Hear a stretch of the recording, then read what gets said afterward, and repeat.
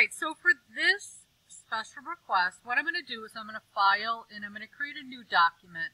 Um, for something that utilizes wording, you probably want to have something that's wider than taller. So I would say you can do um, an 8 by 10, an 11 by 14. I'm going to go ahead just do a regular page, um, which is an 8.5 by 11. Notice I put the 11 inches on the width, so it's a wider piece. And I'm going to put my resolution up to about 300. I don't want 72. Um, when you use any kind of type with 72, it turns out really um, very low quality, kind of like what you see right there.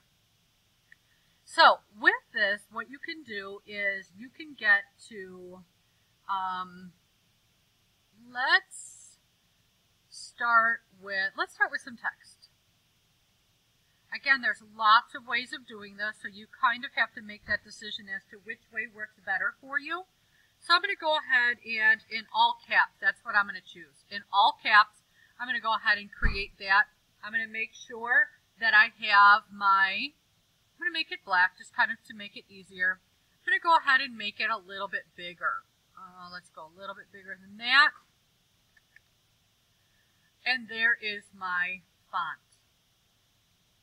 I'm going to go ahead and finish that off. I'm going to click off of it.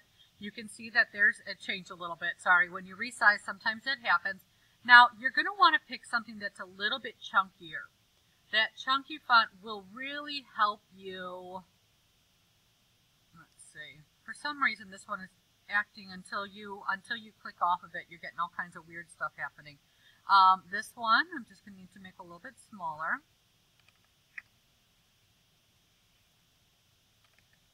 There we go. Okay, so I clicked off of it. You'll see it's going to commit in just a second. I can then edit free transform. And I can even drag that bigger. And I don't have to hold the shift key down for this. I'm just going to make that bigger. Like I said, it's really acting kind of funky. Every time I click off of it, I'm going to use my keyboard arrows just to nudge it over. Okay? So what you can do is, and maybe that wasn't the best font, but we'll get through it. I'm going to press the Enter key, and I'm going to go ahead and commit to it. This is something that's a little bit different. I'm in a File, I'm going to place Embedded. And I want to go ahead and open up a picture within a picture so that I can get things going. I'm going to go ahead and just select a picture, whatever that photo is that I want to use in there. Make sure it fits over my letters. And once I'm happy with it, I can press the Enter key to commit. Now I can turn that layer off and I can go back to my hello. I can grab my magic wand and I'm going to uncheck contiguous. Contiguous means just like the United States, there are 48 contiguous United States. Those are all the states that are touching. So when I click here, this is going to give me that black color anywhere in my document. If I have that checked and I click here, it's only going to give me the black that's connected. Once it hits another value, it's going to stop. So again, I'm going to just go ahead and select all of that. Then I'm going to turn this layer back on and make sure that's the one that is active. I have got my crawling ant selection, and I'm going to control J. It'll look like almost nothing happened. But you'll see the magic once I turn off those two layers. So you can see that it's got that showing through. I can go to my background and I can paint bucket in. Like let's say I wanted to do, um, let's just pick something. Let's say I wanted to put that bright pink in the background. Let's say I want this one. Let's say I want this one.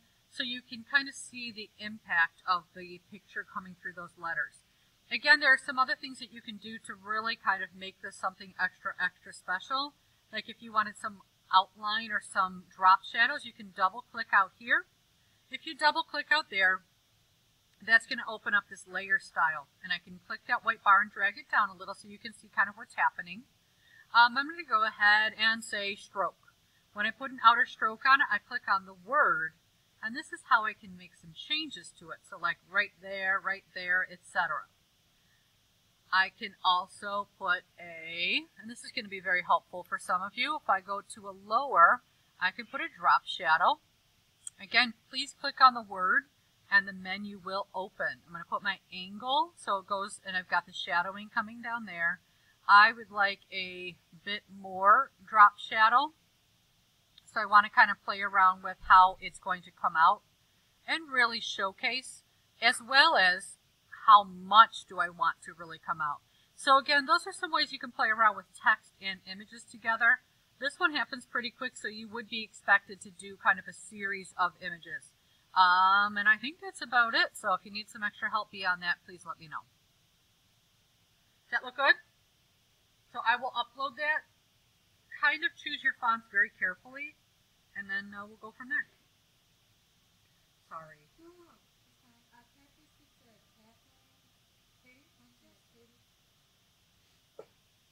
What are you here for? Yearbook.